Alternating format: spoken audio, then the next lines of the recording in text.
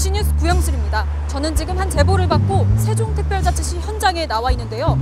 어? 경기도청 공무원 박호사님 아니십니까? 오! 오, 구기자! 네, 왜 여기서 나오시는 거죠? 아, 아니 저 일하러 왔는데 여기 경기도청이에요, 여기가.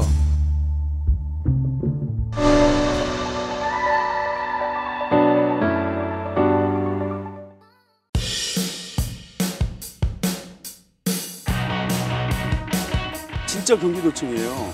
엄청 업무하기 좋고 엄청 좋아. 아 몰라요? 땡땡이 치고 오신 거 아니에요? 뭔 소리를 하는 거야? 골로 보내려고 하네. 아니 일단 그러면 가봅시다. 아, 소개- 그러시죠. 예. 엄청 깨끗해. 예, 새로졌어. 오. 7월 11일 세종시의 문을 연 경기도 중앙협력본부 세종사무소.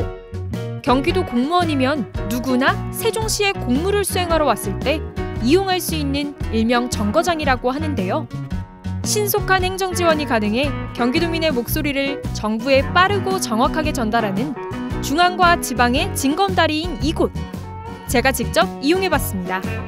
스마트 워크 센터에서는 PC나 프린터는 물론 급한 사무 업무를 볼 수 있고 소통이 필요할 땐 접견실에서 마음 놓고 회의를 할 수 있습니다.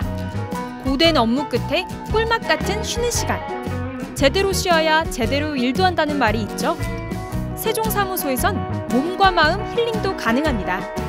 차도 한 잔 마시고 지금 푹 쉬고 있었어요. 직접 와 보니까 진짜 내 사무실 같이 정말 편안하고 아니 실제로 와 보야 돼요. 다 오셔서 실제로 일을 해보시면 어, 너무 편하니까 일의 능률도 오르고요. 남의 사무실이 아닌 경기도 공무원의 내 사무실. 경기도 중앙협력본부 세종사무소. 중앙과 저희 경기도의 유기적인 협력 체계를 구축하는 게 매우 중요하다고 생각합니다.